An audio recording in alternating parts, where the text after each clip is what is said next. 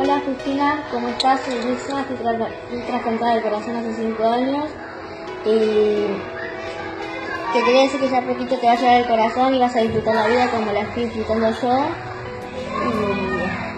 Te mando un beso y un abrazo.